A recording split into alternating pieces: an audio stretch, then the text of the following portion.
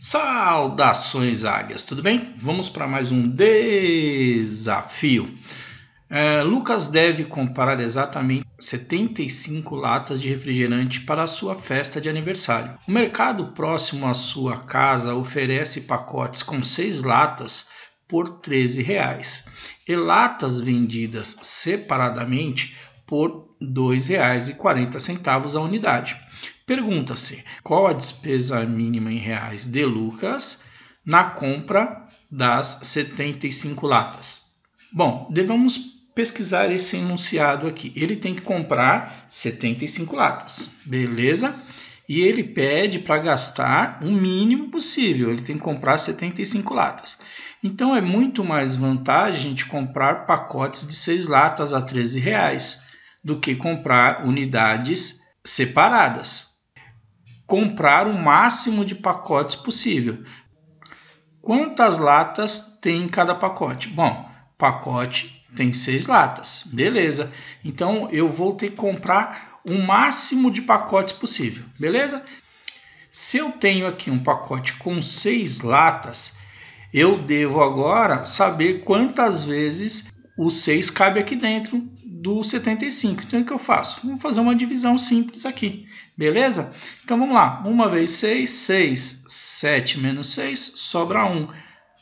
Baixa o 5, beleza? Quantas vezes o 6 cabe dentro do 15? Ah, muito fácil, Rogério. Duas vezes. 2 vezes 6, 12.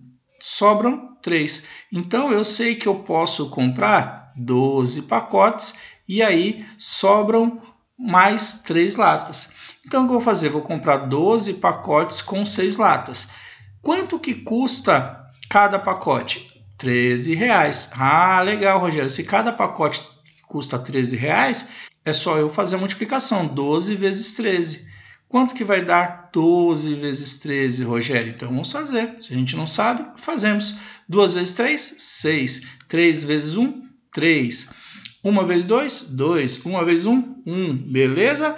O que, que a gente tem aqui como despesa? Nós temos aqui 156 reais por enquanto, redondinhos. Beleza? Só que eu tenho que comprar mais três latas. E essas três latas custam quanto cada uma? R$ 2,40.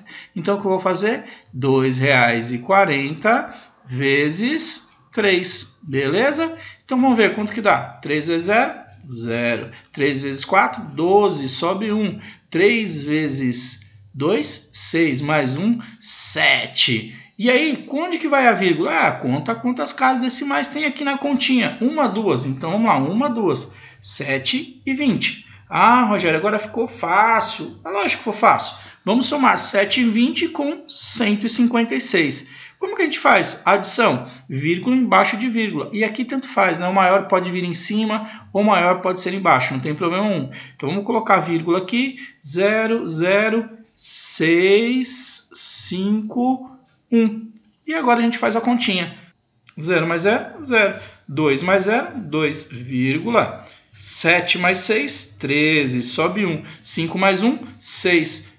163 e 20 centavos. Então, minha resposta é R$ 163,20. Tranquilos?